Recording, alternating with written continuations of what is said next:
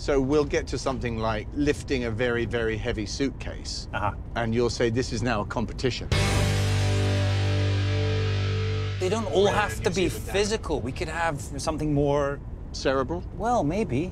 Count I the know, you can't lampposts imagine it, can or- you? Counting lampposts. I don't know.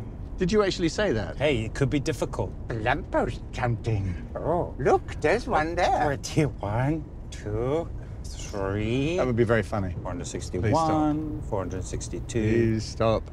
Please stop.